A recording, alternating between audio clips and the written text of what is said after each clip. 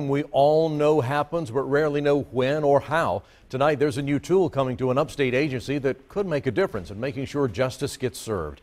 7 News' Kirsten Glavin talked to Pickens County deputy. She's joining us tonight from 7 on Main with more. Kirsten.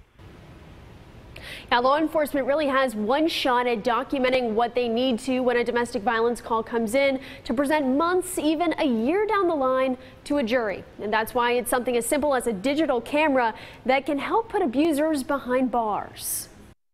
In Pickens County, a picture's worth a thousand words. Is furniture knocked over? Or are there holes in the walls? And of course, we are victims and our suspects we photograph. Capturing a moment in time to use as evidence. We want to try to get the jury or the judge to kind of get a sense of what's going on in that house. That's why the sheriff's office is giving every deputy a digital camera to take with them behind closed doors. Domestic violence is one of our biggest problems in the county, has been for years. Sheriff uh, Rick Clark says domestic violence calls come in several times a week.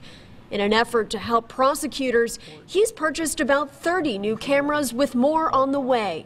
A small investment yielding big rewards, especially when it could take months to even a year for some cases to make it to court. It's nice having that camera handy to where you don't have to worry about using your personal cell phone or having to go out and buy your own. For deputies like Sergeant Matthew Kirby, it means not having to worry about his personal phone being subpoenaed for evidence. And if you noted in your report that I took photos, well, they're going to know how did you take photos? Well, did you do it? I'll use my cell phone. Okay, well, where's your cell phone at? I want it.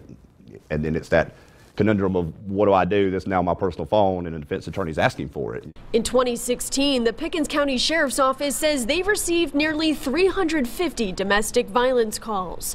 That number even higher in 2017, with 418 incidents reported. They have computers in their cars, so they can start downloading the evidence right into our records management system as soon as the call is over.